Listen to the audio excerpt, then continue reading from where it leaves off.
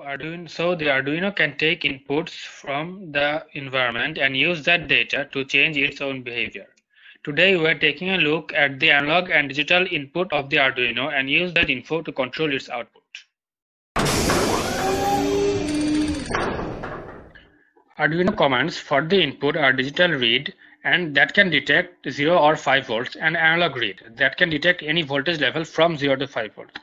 Let's see digital circuit first. We already know how digital write works. We will see the change using this LED as well as the serial monitor. Now, this is how you should connect the switch when you are taking input for the Arduino. When the switch is pressed, the input pin voltage will be 5 volts. And when it is disconnected, it must be set to 0 volts. That is why you need a resistor back to ground. Without it, the input voltage will not be stable. Now looking at the code, we need to start the serial monitor first and define the input and output pins. In the loop, we have a variable named button state, and the Arduino will read for the voltage from pin 6 and store it that in the button state. If the voltage is 5 volt, it will be 1, otherwise it will be 0. Now, an if statement, if else statement is given. So when the switch is pressed and this is 1, the LED will light up. Otherwise, that is, when the switch is off, the voltage is 0 and the LED will stay off.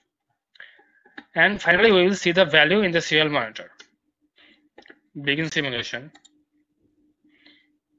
And when I you can see first reading is zero. And when I press the button the LED lights up and the serial monitor on the right shows one. And if I let go the LED is off and the serial monitor again shows zero. Now coming to the second circuit the analog circuit and switching to the second Arduino code for the second one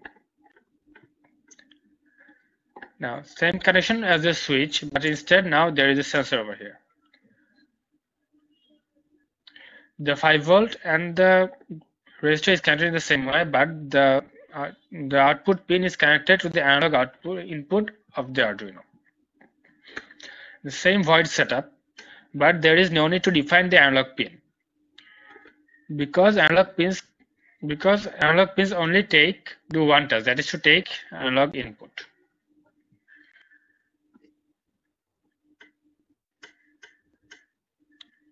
Now the sensor state will have a value from the pin A0. Analog pins can take any voltage from 0 to 5 volts. 5 volt means 1023 and 0 will store 0 in the variable. Any voltage in between will have a corresponding number.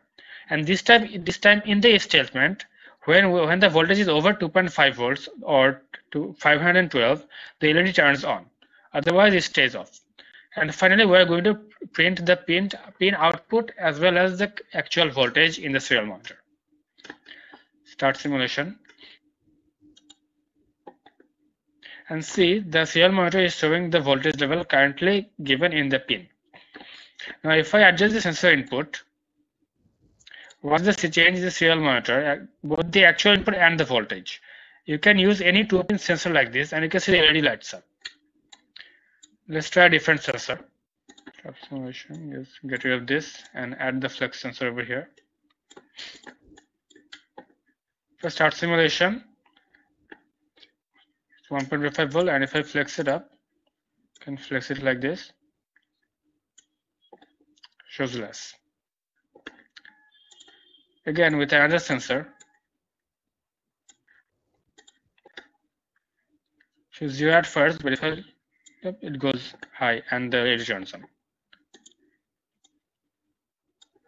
So you can use any two pin sensor like this, and this is the basics of input, digital and analog input for the Arduino.